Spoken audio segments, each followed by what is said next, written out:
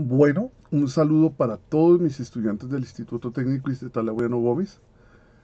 Hoy vamos a hablar mm, de un tema muy importante para la electricidad que se llama el polo a tierra o también conocido como la puesta a tierra. Bueno,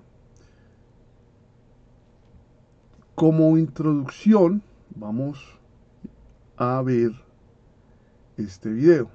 En este video vamos a encontrar un eh, probador de fase electrónico.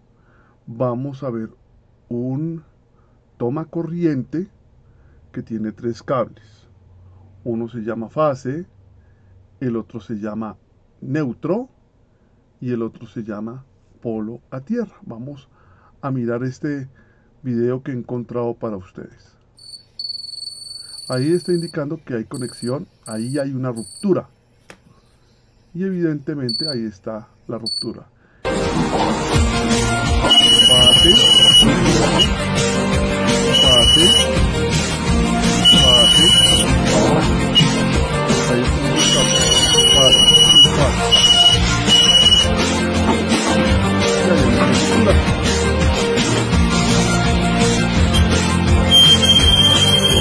Fase.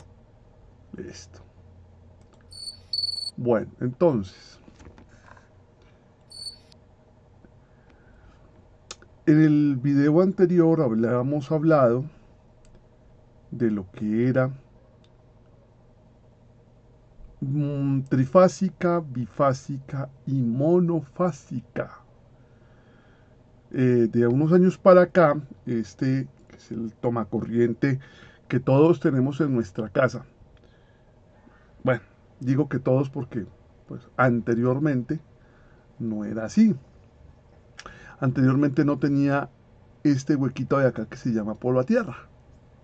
De un tiempo para acá las normas eléctricas cambiaron y exigen que todos los tomacorrientes tengan este, esta tercer patica que se llama polo a tierra.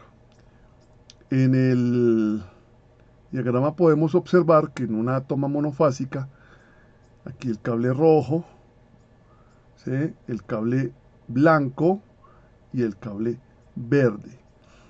Eh, la RETI, que es la norma eléctrica, establece unos colores, pero estos colores no están de acuerdo con la norma de la RETI. Eso es algo que debemos de estudiar en otro momento todo tiene que tener una normativa. Mm, entre la norma dice, por ejemplo, que entre estos dos, el más pequeño, el agujero más pequeño, debe ser la fase. Y el más larguito debe ser el neutro. Y acá tiene que ser el polo a tierra. Entonces fíjense que tenemos tres elementos. Fase, neutro y polo a tierra. Este tema del polo a tierra es muy importante porque eh, el polo a tierra nos ayuda a proteger nuestra vida, eh, a, evitar una descarga por nuestro cuerpo. A veces puede llegar a pasar. Hoy en día hay tecnología, que ahora lo veremos, que nos puede proteger de una sobrecarga de pronto accidental que nos pase en nuestro hogar. Y bueno, si estamos hablando de una empresa, pues desde luego también una empresa. Nadie está exento de, exento de un accidente. Entonces, este es el típico, el típico toma corriente que encontramos en nuestras casas, que es monofásico. Pero entonces, muchas veces me preguntan, bueno, profe, ¿qué significa este, este, este huequito de acá? ¿Sí? Ese es el polo a tierra. ¿Y ya qué es el polo a tierra? Ah, bueno, eso es lo que vamos a estudiar hoy. ¿Qué es el polo a tierra? ¿De dónde, ¿Cómo se come eso? ¿De dónde sale eso? ¿Sí? Bueno, pero hay una cosa importante que es yo les dejé una tareita que se trataba de los calibres de los conductores, ¿sí? Entonces resulta que el polo a tierra tiene que soportar la descarga que se le ponga. Si estamos hablando de un pararrayos, pues, inclusive el pararrayos que puedo tener el más grueso de todos, ¿sí? cae un rayo y muchas veces se quema. ¿sí? Entonces, eso hay que tener en cuenta. Realmente no es tampoco cualquier cablecito ni el más delgadito. No. Es importante tener en cuenta eh, la tabla del AWG ¿sí? para eh, los cálculos en electricidad. Bueno, entonces, por ejemplo, una aplicación común. Todos hemos visto este espectáculo en nuestras vidas, nuestra atmósfera eh, eh, acumula cargas, se genera la energía estática y entonces pues se producen lo que conocemos como los rayos y ahí vemos cómo caen los rayos, ¿no? Yo no sé si esto es una, una fotografía real o es de pronto simulada por computador, porque, pero pues todos vemos que esa es la realidad. Así es como son los rayos. En una clase anterior hablábamos que se genera una diferencia de potencial tan alta, un voltaje tan alto allá arriba, que la resistencia del aire se, rompe. Y que es tanta la, energía que fluye por, un rayo, que incluso los cables más gruesos muchas veces se queman cuando pasan por un pararrayos. ¿sí? Entonces podemos ver que, por, ejemplo, en nuestras estructuras eh, arquitectónicas, nuestros monumentos, generalmente en la punta le colocan, le colocan algo que se llama pararrayos. ¿sí? Este es un tema muy delicado, a mí me parece que este es un tema, eh, no cualquier persona está capacitada para, para instalar un pararrayos. Eh, el estudio es un estudio muy amplio y admiro mucho a las personas que se dedican a esto. pero lo importante del pararrayos es que digamos que tiene unas puntas, ¿no? Y que esto va conectado a la, tierra, ¿sí? Y obviamente, como les decía hace un momentico, en coluso, con los cables más gruesototes que conocemos, eh, cae un rayo y se queman. Es bárbaro eso. Eh, pero bueno, esos son los pararrayos, lo que nosotros normalmente conocemos como los pararrayos, que están encima de los monumentos, eh, de muchas veces encima de un edificio, ¿sí? Eh, pero obviamente eso es un tema que no es tan complicado, porque es muy complicado, es muy complicado. ¿Por qué es muy complicado? Porque es que hacer una tierra, construir una tierra no es tan fácil. Uno parecería que diría que sí, que es muy fácil, realmente no lo es. Eh, para algunas personas dirán que sí lo es, pero es que eso depende, mis queridos muchachos, de la tierra, del suelo en donde uno viva. No es lo mismo un polo a tierra aquí en la sabana de Bogotá que de pronto eh, en un desierto, que de pronto eh, a la orilla del mar. Entonces hay suelos que son rocosos, hay, hay suelos que son arenosos, arcillosos, limosos, suelos orgánicos o de pronto eh, suelos que son eh, erosionados. Entonces no es lo mismo hacer eh, un polvo a tierra en un suelo rocoso que en un suelo arcilloso.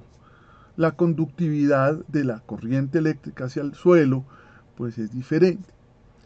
Entonces ese es el problema muchas veces de uno hacer un, polo a tierra el polvo a tierra no es tan fácil de hacer, realmente. Yo, yo, lo, yo lo digo, muchas veces toca implementar varias varillas.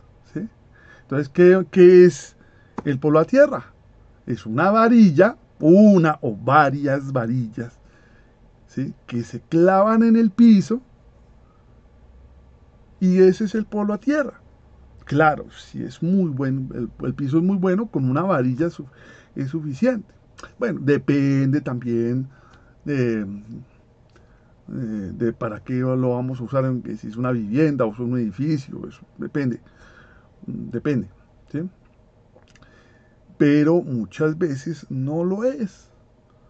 Muchas veces el suelo es tan malo que toca colocar 3, 6, 9 varillas. Estas varillas son de cobre, idealmente. Son costosas, claro Claro. Y las hay de todos los calibres. ¿sí? Mire las puntas. Hay unas que son mm, bañadas en cobre, pero interiormente son en hierro. Y hay otras que son totalmente en cobre. Y obviamente las que son completamente en cobre, pues son las más costosas. Esto, estos son cosas, contactos eléctricos que quedan a la intemperie prácticamente enterrados en el piso y que muchas personas nunca le hacen mantenimiento porque pues pues, es muy difícil volver a escarbar y, y, hacerle mantenimiento. ¿sí? Entonces aquí tenemos a una persona que está con un martillo, que me parece que es un martillo muy, eh, muy pequeño, está introduciendo una varilla para hacer su polvo a tierra. ¿sí? Y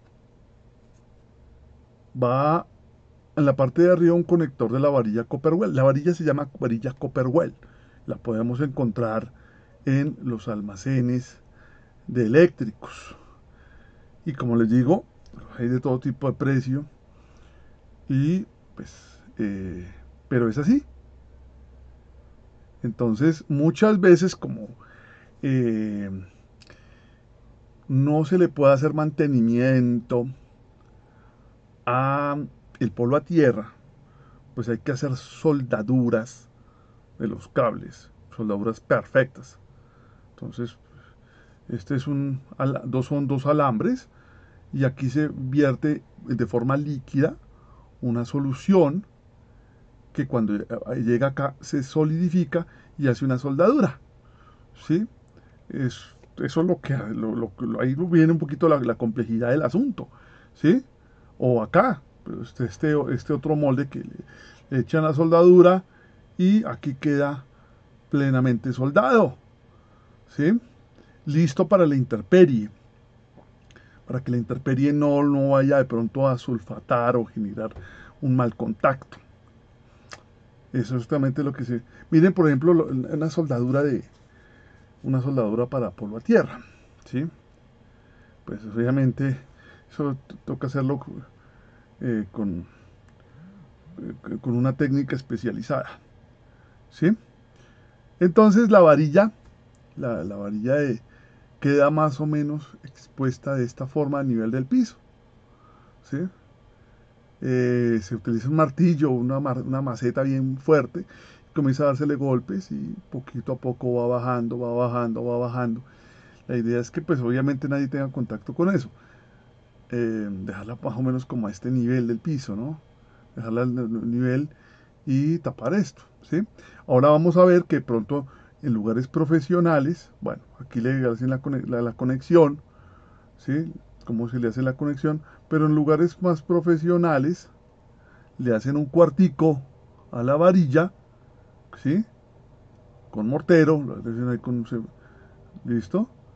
Miren cómo le hacen con mortero a los lados, ¿sí? Para después taparlo, mírenlo, ¿ok? Entonces, pues obviamente después se le pone una tapa y después nadie lo toca. ¿Sí? Bueno. Pero muchas veces no es eh, necesariamente una varilla. La tierra, el, campo puede estar mm, de tener muy mala conductividad y se requieran 3, 6, un número de varillas eh, que nosotros pues no, no alcanzamos a imaginar cuántas. Entonces lo que hacen es esto, hacen un triángulo más o menos de 5 metros, más o menos son 5 metros y algo, que tiene cada, cada, cada lado del triángulo y en cada vértice clavan una varilla. ¿Sí?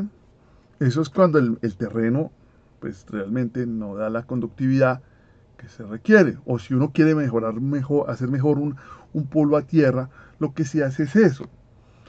¿Sí? Entonces, aquí es donde vemos entonces, fíjense, ya viene la norma, la, la, línea la pintan en negro, ¿sí? En el otro lo pintaban de rojo. La norma de la red dice en Colombia que el, la fase tiene que venir en, en negro y el neutro tiene que venir en blanco. El polo a tierra tiene que venir en color verde. ¿Sí? Bueno, y entonces prácticamente esto es lo que tiene que quedar en todas las casas. ¿sí? No, no es una varilla por cada toma corriente, para toda la casa, ¿sí? para todo el lugar.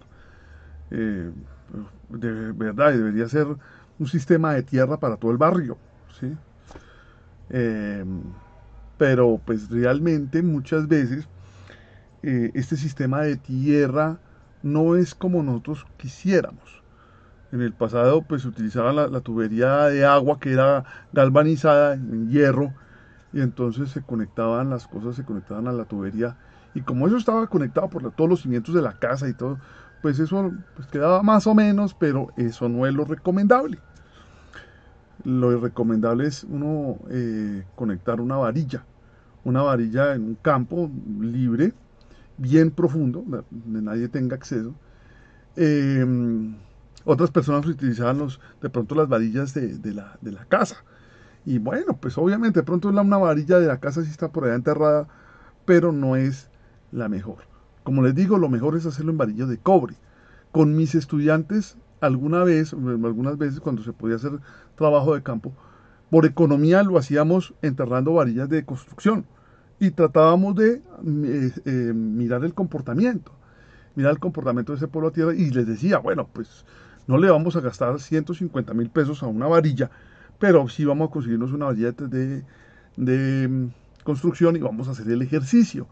Vamos a ver qué tanto, qué tan bueno, qué tan mala es la tierra, ¿sí? Y vamos a hacer el ejercicio, vamos a ver cómo nos va. Bien, este es uno de los de las eh, posibles conexiones que hay para conectar los polos a tierras. Entonces, un lado irá para, para mm, la varilla y de pronto acá para otros, para cada habitación o para cada elemento. Esto es muy eh, común encontrarlo y esta parte de acá es totalmente aislada. Eh, los soportes, a pesar que son metálicos, esto está totalmente aislado. ¿sí? Y estas barras se consiguen normalmente de diferentes calibres para diferentes amperajes. Pero esto es muy común encontrarlo para, las conexiones a polo a tierra. Bueno, entonces este es un tema muy, Yo recuerdo, mm, sobre todo cuando uno era niño, que bajaba uno a la estufa, la estufa estaba prendida con la olla pitadora, iba uno descalzo y tocaba la, estufa y recibía su descarga. ¿sí? O muchas veces uno baja descalzo a la nevera, no todas las neveras, desde luego, pero las viejitas podían pasarle eso. Y tocaba la nevera y abría la nevera y recibía su descarga porque no tenía de pronto puesto los zapatos. ¿sí? Entonces, esa corriente que es, eh, mm, queda como eh, eh, estilando la máquina, en este caso la lavadora. ¿sí? La señora abre la lavadora, la parte metálica, y hay una descarga de la parte metálica hacia tierra. Bueno, esto realmente pues posible que pase, claro que sí pero eh, es más evidente si la señora está sin zapatos. Esto pasaba mucho también antes porque no existía el polo a tierra. ¿sí? Esto es una, una, instalación cuando el polo a tierra está desconectado. Entonces, cuando se conecta el polo a tierra, esa corriente que pasaba por la señora, ahora está pasando por acá. ¿sí? Y la señora puede incluso abrir la lavadora descalza y no tiene ninguna descarga porque la descarga está pasando a través del cable verde a tierra. Bueno, ese es uno de, las, de los ejemplos. ¿sí?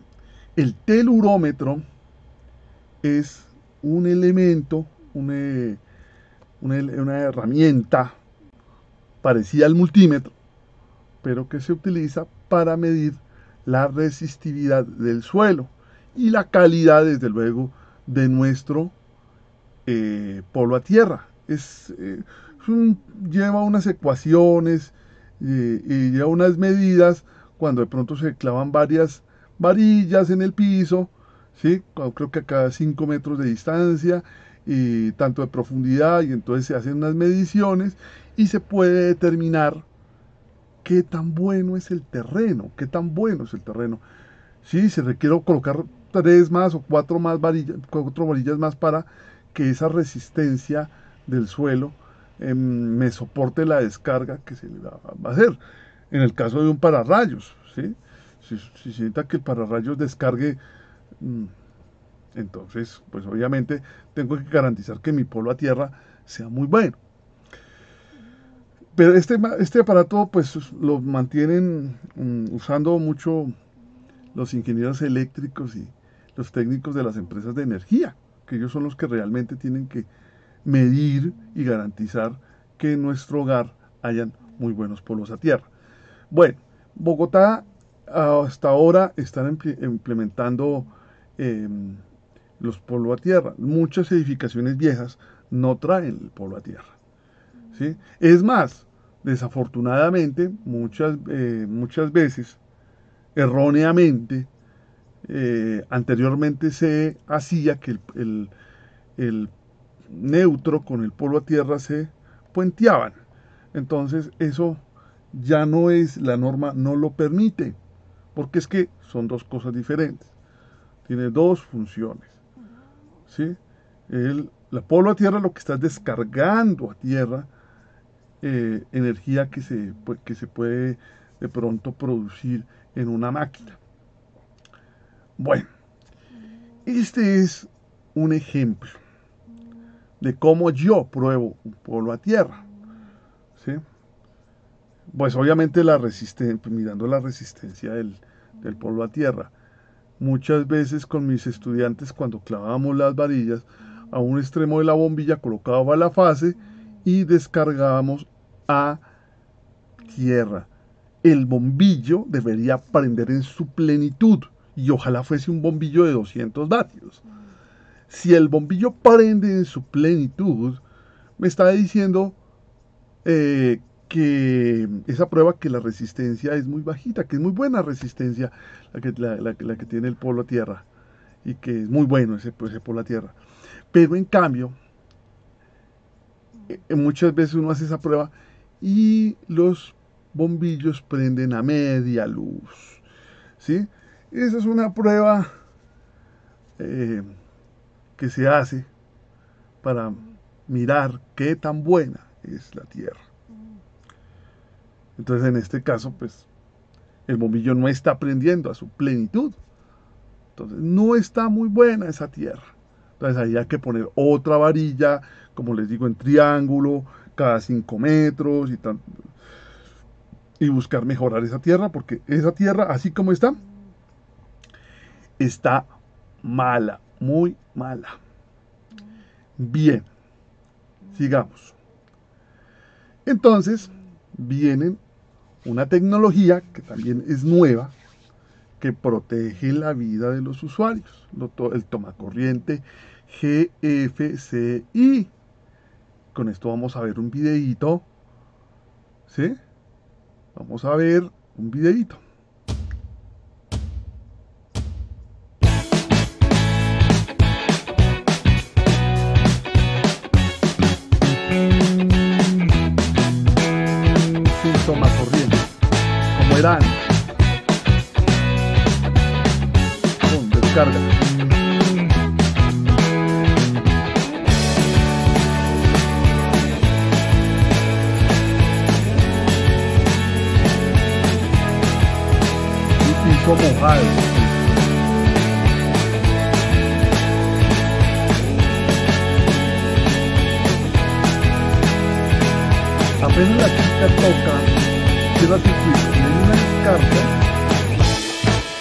El interruptor salta abriendo Esto es bueno para cocinas, baños, áreas de lavado y zonas húmedas.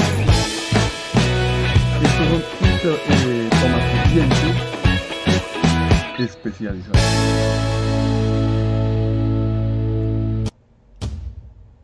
Bueno.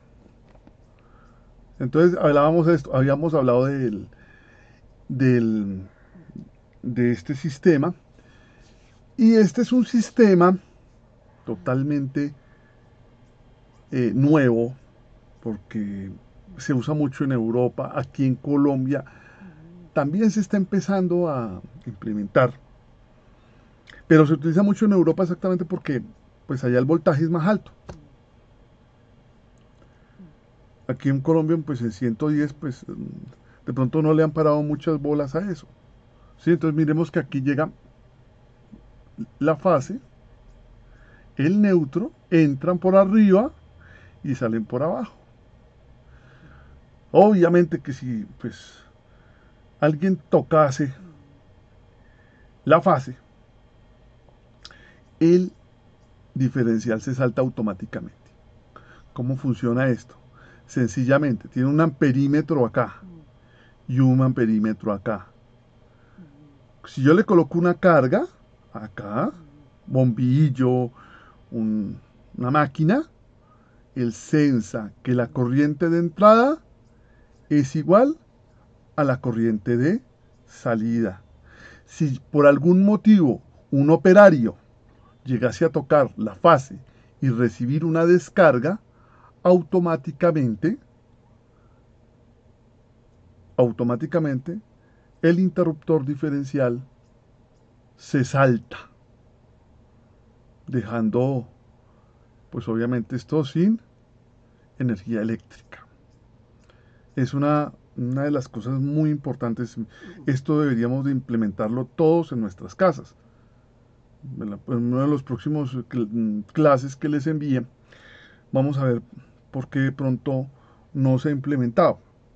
Pues, la, la razón es por costos, pero y ahora les voy a mostrar el costo de cuánto vale un interruptor diferencial para que más o menos tengan una idea. Este es eh, un sistema bipolar, ¿no? Dos polos. Fíjense en cuenta que aquí en este caso maneja la fase y el neutro al mismo tiempo. Bueno. Entonces, obviamente, de la misma forma que el, eh, el otro toma corriente, este eh, protege a un usuario de un, choque eléctrico. Si la persona está aquí descalza, aquí está eh, malo el polo a tierra y recibe la persona una descarga, automáticamente el diferencial se salta y no pasó nada. Simplemente fue un choque que recibió, pero no pasó nada. Lo mismo con la nevera. Alguien de pronto baja y toca la nevera y, el, ta, ta, ta, y no descarga, el diferencial automáticamente se, se salta. Y pues, o, cualquier otra persona que toque un motor o cualquier otra que pronto le pase la corriente, el interruptor diferencial le puede salvar la vida. ¿Listo? Todos estos elementos mm, utilizan un riel omega, que es donde descansan todos estos elementos, ya lo vamos a ver, porque hay eh, térmicos también, eh, eh, lo que llamamos el, el taco, mal llamado taco, ¿sí? descansa acá. Bueno, este es un interruptor diferencial trifásico. ¿Listo? Este es bipolar, ¿no? y miren el precio. Claro, imagínense. Con 30 miliamperios que pierda el salta. Sola con 30 miliamperios. Si, si se conecta algo de tierra a fase en la parte de abajo, solo con 30 miliamperios se dispara, protegiendo la vida de cualquier persona. ¿Listo? Y este es lo mismo, pero entonces este es trifásico. Miren aquí en el AR, la S y la T. Y acá abajo lo mismo, RST. ¿Sí? Y si hay una fuga, automáticamente salta. Y salta y desconecta todo. ¿Listo? Bueno chicos, entonces quedamos hasta acá. El próximo eh, vamos a hablar un poco más de de lo que son los térmicos, ¿sí? de los de los que usamos en Colombia, este tipo de, de tecnología que es la que se está imponiendo y es la mejor hasta el momento. Entonces, hasta la próxima.